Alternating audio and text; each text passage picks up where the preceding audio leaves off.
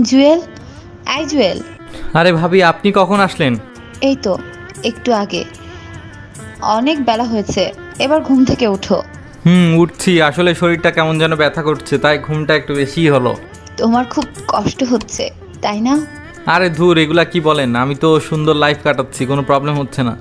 আমি দেখেছি কেমন সুন্দর লাইফ কাটাচ্ছো। আচ্ছা আপনার পড়ালেখার কি অবস্থা? মোটামুটি। তুমি আর পড়বে না? দেখি কি করা যায়। কলেজে যাওয়ার মতো তো সময় নাই পরীক্ষাটা দিব। যদি কপালে পাশ লেখা থাকে তাহলে তো আলহামদুলিল্লাহ। হুম আসো খেয়ে নাও। আপনি যান আমি ফ্রেশ হয়ে আসছি। তারপর ভাবি চলে গেল। আমি ফ্রেশ হয়ে নাস্তা করে নিলাম। এভাবেই আমাদের দিন যাচ্ছিল। এমন একটা লাইফ কাটাচ্ছি যেটাতে নিজের স্বাধীনতা বলে কিছু নেই। পরিবারের দিকে তাকিয়ে হাসি মুখে সব ত্যাগ করতে হয়। একদিন খেয়াল করে দেখলাম মায়ের শাড়িগুলো সব পুরাতন হয়ে গেছে।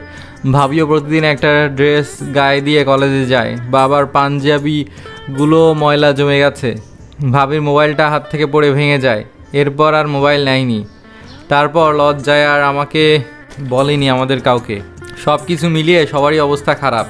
নিজের শখের জিনিসগুলো বিক্রি করে দিলাম। হুম, আমার কম্পিউটার, গিটার, হাতের ঘড়ি এবং শখের মোবাইলটাও বিক্রি করে দিলাম সবার অজান্তে।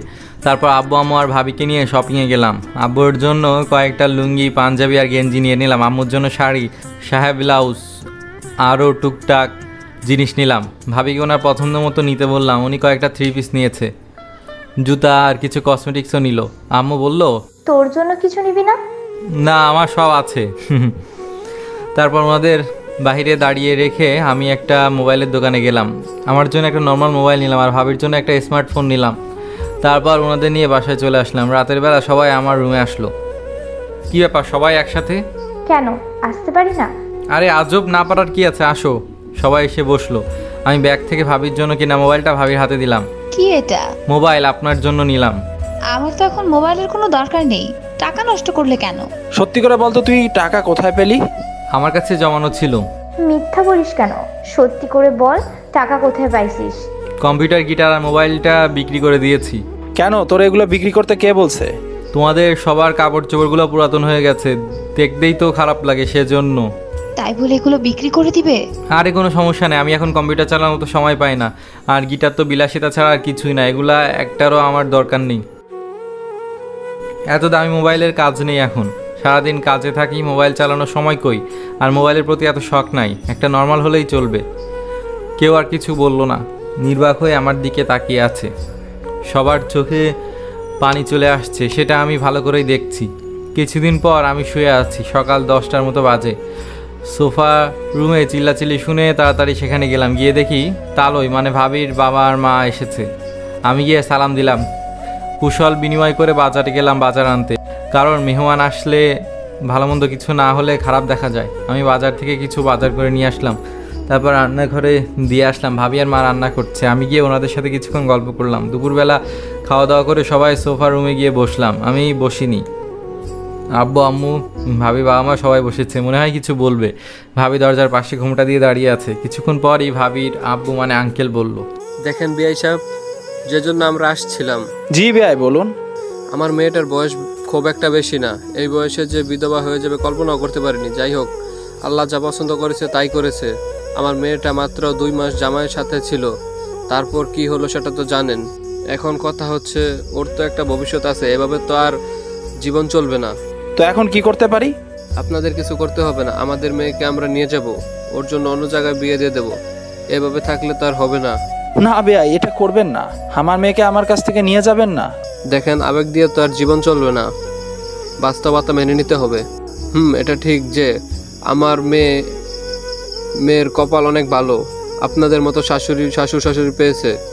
খুব কম মেয়ে এরকম শ্বশুর শাশুড়ি পেয়ে থাকে কিন্তু আপনারা তো আর ওর কিছু করতে পারবেন না।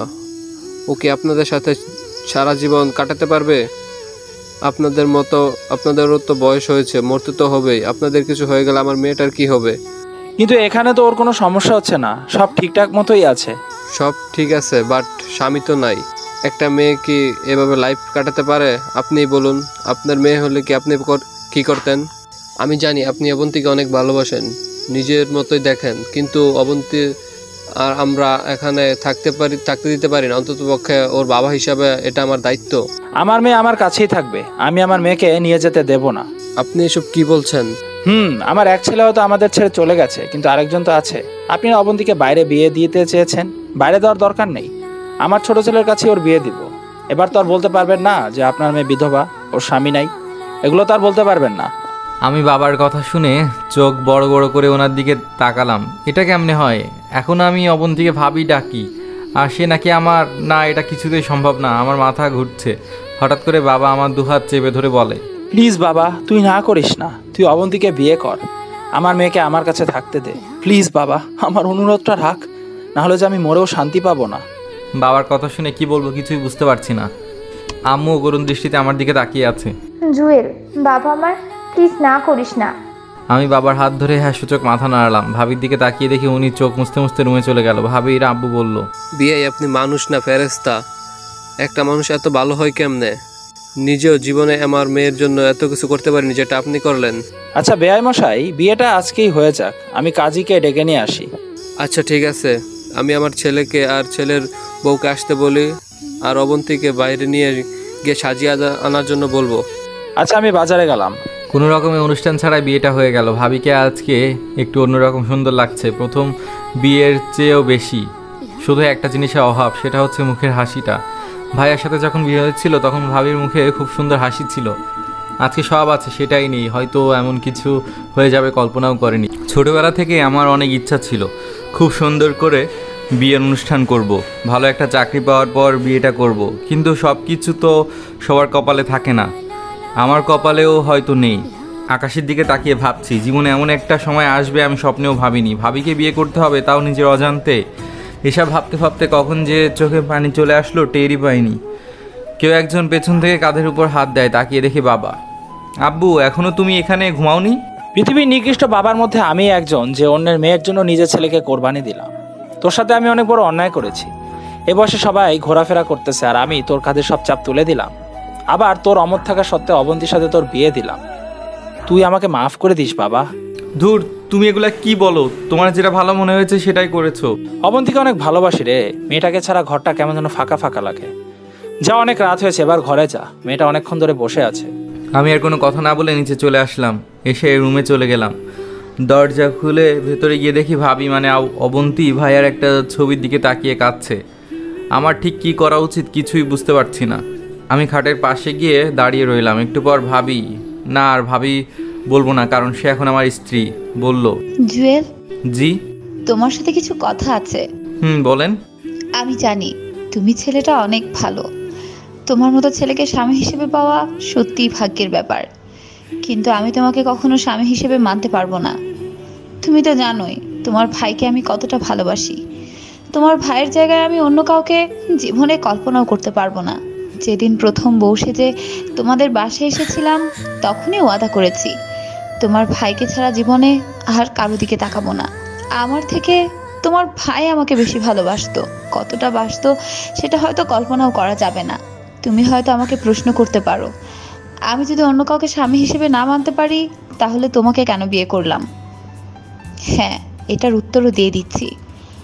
তোমার সাথে বিয়ে না হলে অন্য কোথাও ঠিকই বাবা মা আমার বিয়ে দিয়ে দিত। কিন্তু আমি এখানে আব্বু আম্মুর আর তোমার কাছ থেকে যে ভালোবাসা, আদর যত্ন পেয়েছি, অন্য কোথাও সেটা নাও পেতে পারি। আমার মনের অবস্থাটা তোমরা একটু হলেও বুঝবে, বাট অন্যরা বুঝবে না। জানো জুয়েল, আমি হচ্ছে পৃথিবীর সবচেয়ে বড় অভাগা। সুখ ঠিকই আসলো, কিন্তু কপালে লেখা ছিল না। তুমি আমাকে মাফ করে দিও। তোমার সুন্দর জীবনটা আমি নষ্ট করে দিলাম। জানো, আমারও অনেক ইচ্ছে ছিল। তোমার জন্য খুব সুন্দর একটা মেয়ে দেখে তারপর তোমার সাথে বিয়ে দিব। আমার যা হিসেবে নয়, বোন হিসেবে থাকতাম। একবার চিন্তা করো, কত সুন্দর হতো আমাদের ফ্যামিলিটা। তুমি প্লিজ আমাকে মাফ করে দিও। আমি তোমাকে স্বামী হিসেবে মানতে পারছি না।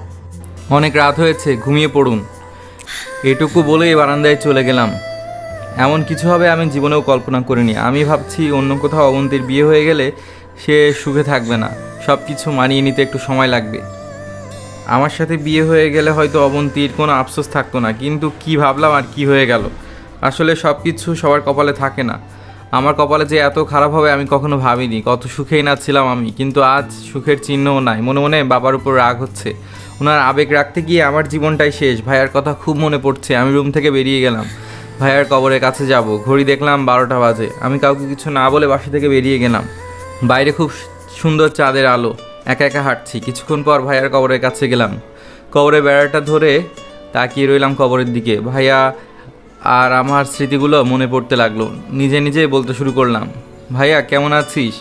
তোর কি সময় হবে? একটু কথা বলতাম। জানিস, তুই যে আমার মাথার উপর ছায়ার মতো ছিলি, এখন হাড়ে হাড়ে টের পাচ্ছি।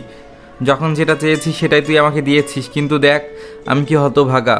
তোর জন্য কিছুই করতে পারলাম না। তুই যখন ফ্যামিলি চালাইছিস, রাজার মতো চলেছে আমরা। অথচ দেখ, আমি কীভাবে চালাচ্ছি, একবেলা খেলে পরের বেলা না খেয়ে থাকতে হয়। বাবা মাকে আমি সুখে রাখতে পারছি না। জানিস ভাই এখনও আমি কোনো জিনিস কিনলে তোর জন্যও কিনে রাখি। আমি যেখানেই যাই না কেন, সবসময় যেন মনে হয় তুই আমার পাশেই আছিস। ভাই, তোর মনে আছে? তুই যেদিন বাইক কিনেছিলি, চাবিটা আমার হাতে দিয়ে দিলি আর বললি বাইকটা আজ থেকে তোর। তুই আমার জন্য অনেক স্যাক্রিফাইস করেছিস, কিন্তু দেখ, আমি কত বড় হারামি। তোর জন্য কোনো রকম স্যাক্রিফাইস করিনি কখনো। বরং তোর বউটাকে নিজের বউ করে নিয়েছি। বিশ্বাস কর, আমি অবন্তীকে বউ হিসেবে কল্পনাও করিনি।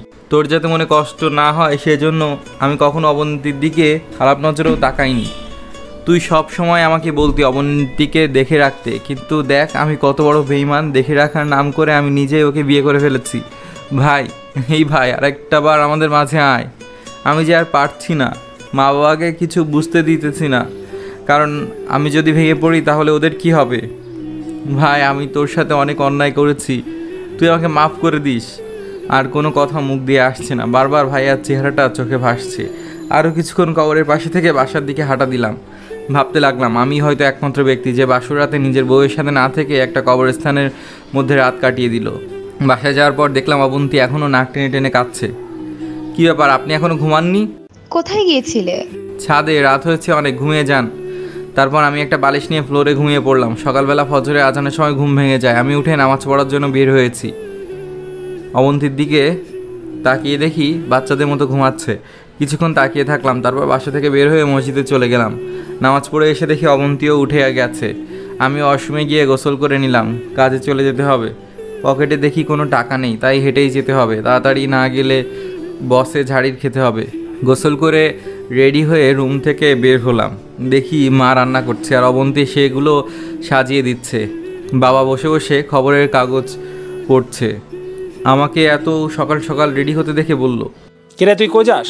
আব্বু কাজে যাচ্ছি কালকেও যাইনি। কয়েকটা দিন বাসায় থাক সবে মাত্র বিয়েটা হলো আর কয়েকদিন পরে যাবি। না আব্বু বাসায় তো তেমন কোনো কাজ নেই সো বসে থেকে তো কোনো লাভ নেই। আচ্ছা শোন। হুম বলো। অবন্তিত সামনে ফাইনাল পরীক্ষা কলেজে তো ফিস বেতন সব রয়ে গেল। আচ্ছা আমি রাতে দিয়ে দিব। কত টাকা হয়েছে আমাকে বলে দিও। সে কি আজকে কলেজে যাবে? হুম যাবে। ওকে তাহলে কলেজে গিয়ে কত টাকা হয়েছে সেটা জেনে আমাকে কল দিয়ে বলার জন্য বলিও। আচ্ছা ঠিক আছে। ওকে আমি বের হচ্ছি। তারপর বেরিয়ে গেলাম। কি করব বুঝছি না। অবন্তীর ফাইনাল পরীক্ষা মানে তো আমারও ফাইনাল পরীক্ষা। কারণ অবন্তী আর আমি সেম ইয়ারেই পড়ি, শুধু ক্যাম্পাসটা ভিন্ন। যখন কলেজে নিয়মিত যেতাম, টাকা খরচ করতাম, কত বন্ধুবান্ধব ছিল, আর এখন টাকা নাই, বন্ধুও নাই। ফাইনাল এক্সাম চলে এসেছে, অথচ কেউ একটু আমাকে জানালোও না। আমারও অনেক ইচ্ছা ছিল অনার্সটা অন্তত শেষ করা, কিন্তু কীভাবে কি করব? অমন্তীর টাকা দেওয়ার মতো টাকাও তো আমার হাতে নেই। প্রতিদিনের মতো গোডাউনে চলে গেলাম বস যেখানে বসে আছে। আসসালামু আলাইকুম বস হুম, কি অবস্থা মিস্টার জুয়েল? কালকে আসনি যে? বস একটু কাজ ছিল। এত কি কাজ তোমার? এত কাজ হলে চাকরি করার কি দরকার? আমি চুপ করে দাঁড়িয়ে আছি। যাও আজকে সবগুলো মাল সেল করে আসবে। না হলে বেতন কেটে নেওয়া যাওয়া হবে। আমি এখনও দাঁড়িয়ে আছি। কি ব্যাপার দাঁড়িয়ে আছো কেন? কিছু বলবা নাকি? জি বস একটা কথা ছিল। কি কথা? আমাকে যদি এই মাসে টাকাটা অগ্রিম দিতেন উপকার হতো। আমার খুব দরকার। তোমার কাজ করার দরকার নাই। আসছে। উনি এই কাজ ছাড়া টাকা নিতে। ভালো লাগলে করো না হলে চলে যাও। আমি আর কোনো কথা না বলে মালগুলো নিয়ে বেরিয়ে গেলাম। অবন্তীর পরীক্ষার টাকা কোথায় পাবো সেই চিন্তায় আমি শেষ। হাতের ঘড়িটা অনেক দামি ছিল ভাইয়া ইটালি থেকে নিয়ে এসেছিল। বাংলা টাকায় অনেক দাম। উপায় না পেয়ে সেটা বিক্রি করার সিদ্ধান্ত নিলাম। ভাইয়ার শেষ চিহ্নটুকুও বিক্রি করে দিলাম। কয়েকটা দোকানে মাল সেল করার পর আয়মান স্কুল বন্ধুদের সাথে দেখা হলো। কিরে জুয়েল তুই এগুলো কি করিস? আয়মান বন্ধু তুই? হাই রে কতদিন পর দেখা কি অবস্থা তোর? আমি তো আছি তুই এগুলো কি করিস? চাকরি নিয়েছি। দূর বেটা এটা কোনো চাকরি হলো? আর তোর বাবা ইনকাম করে ভাইয়া ইনকাম করে তুই এগুলো কেন করস? তুই তো রাজার হালে থাকার কথা। হুম ছিলাম। এখন প্রজা থেকেও আমার অবস্থা খারাপ। কেন কি হয়েছে সব কিছু বললাম ওকে। কি বলিস তুই? তো তোর পড়ালেখা? শেষ করে দিলাম। আমি পড়তে গেলে অবন্তীর আর পড়া হবে না। দুই জায়গায় টাকা দেওয়ার মতো অত টাকা আমার কাছে নেই। তোর রেজিস্ট্রেশন করা আছে? হুম বাট সেটা দিয়ে আর কি হবে? তোর পরীক্ষার টাকা আমি দেবো তুই পরীক্ষা দে। ধন্যবাদ বাট আমি টাকা নিতে পারব না। কেন? দেখ আমার টাকা নাই এটা সত্য কিন্তু কারও করুণা নেওয়ার মতো ছেলে আমি না সেটা তুই ভালো করেই জানিস।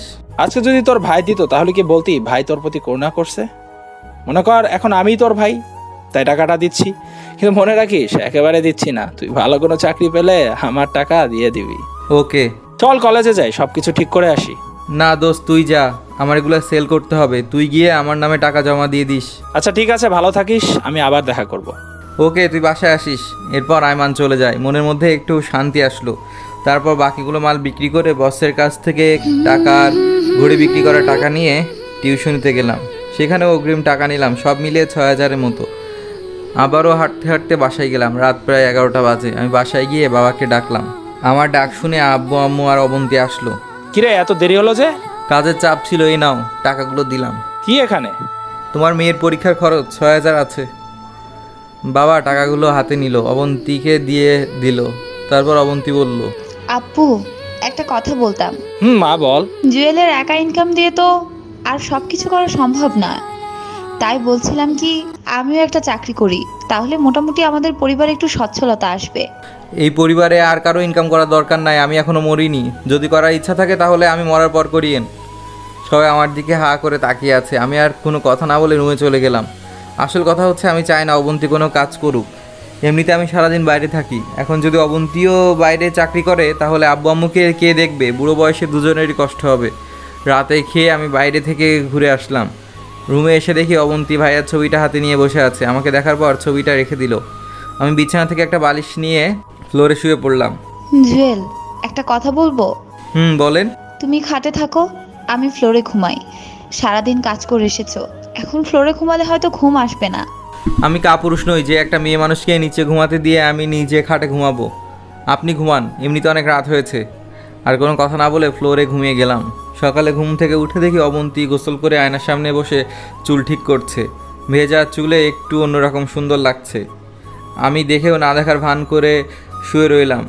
মনে পড়ে গেল যে পায়ে হেঁটে কাজ করতে হবে। রোমান্টিক মুডে থাকার মতো সময় নেই। উঠে ফ্রেশ হয়ে গোসল করে রেডি হয়ে বেরিয়ে গেলাম।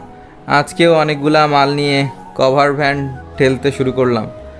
মনে মনে ভাবতে লাগলাম, অবন্তি কেন আমাকে মেনে নিচ্ছে না? যেখানে আমি ওকে মেনে নিব না, সেখানে তার উল্টোটা হচ্ছে। এভাবে দিন যেতে লাগল। বিয়ে করেও আমার অবন্তির সম্পর্ক ভাবি দেবরের মতোই রয়ে গেল। মাঝে মাঝে অবন্তীর উপর অনেক রাগ হয়। কি করব কিছুই বুঝতে পারছি না। আব্বু আম্মুর জন্য আজকে আমার এই অবস্থা। দেশে মেয়ের অভাব পড়েছে যে আমাকে ভাবিকেই বিয়ে করতে হলো। সারাদিন কাজ করে এসে আবার রাতে ফ্লোরে ঘুম। জীবনটা অসহ্য লাগছে। পরের দিন কাজে গেলাম। শরীরটা ভালো লাগছে না। মনে হচ্ছে জ্বর আসবে। ইচ্ছা না থাকা সত্ত্বেও রাত পর্যন্ত কাজ করলাম। রাতে না খেয়ে ঘুমিয়ে গেলাম। গভীর রাতে আমার কাঁপুনি দিয়ে জ্বর আসছে। ঠিকমতো চোখও মেলতে পারছি না। হঠাৎ করে কপালে কারও স্পর্শ পেলাম ঝাপসা চোখে তাকিয়ে দেখি অমন্তি ডাকছে। জুয়েল এই কি হয়েছে তোমার? এরকম করছ কেন? আমার অবস্থা এতই খারাপ যে ওর সাথে কথা বলার মতো শক্তিও আমার নেই। অবন্তি আমাকে উঠিয়ে খাটে শুয়ে দিল তারপর সারা রাত মাথায় পানি ঢাললো। আর কি কি করেছে কিছুই মনে নেই জ্বরের ঘরে কোনো কিছু অনুভব করতে পারিনি। সকালবেলা অবন্তীর ডাকে ঘুম ভাঙলো তাকিয়ে দেখি আব্বু আম্মু সবাই বসে আছে। অবন্তী নাস্তা হাতে দাঁড়িয়ে আছে তারপর নিজের হাতে খাইয়ে দিয়ে মেডিসিন খাইয়ে দিল। এখন কেমন লাগছে?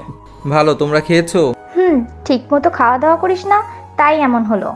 ডাক্তার বলছে কয়েকদিন রেস্টে থাকতে। ডাক্তার কখন আসলো? আরও আগে তুই ঘুমেছিলি। অবন্তি কল দিয়ে আসতে বলছে। আমি আর কোনো কথা বললাম না। সেদিন আর কাজে যাইনি রাতে ঘুমাতে যাওয়ার সময়। সরি সরি কেন? আমার জন্য আজকে তোমার এই অবস্থা। আরে ধুর এগুলা কি বলেন? আপনার জন্য হবে কেন? ফ্লোরে ঘুমানোর কারণে এমন হয়েছে। প্লিজ তুমি খাটে ঘুমাও আমি নিচে ঘুমাচ্ছি। দরকার নাই আমার জন্মই হয়েছে নিচে ঘুমানোর জন্য আমি থাকতে পারব সমস্যা নেই আপনি ঘুমান। কিন্তু কোনো কিন্তু না নিচে ঘুমালে আপনারও সমস্যা হতে পারে তখন কি করবেন? সো ঘুমিয়ে পড়ুন। অবন্তি কিছু একটা বলতে চেয়েছিল বাট আমি বলার আর সুযোগ না দিয়ে উল্টো পাশ হয়ে শুয়ে পড়েছি। ফকির নিয়ে এটা বলতে পারছে না যে আসো আমরা দুজনে খাটে ঘুমাই। দুজন খাটে ঘুমালে কী এমন সমস্যা হয়ে যাবে? আব্বু আম্মু বুঝে যাবে তাই অন্য রুমেও যেতে পারছি না।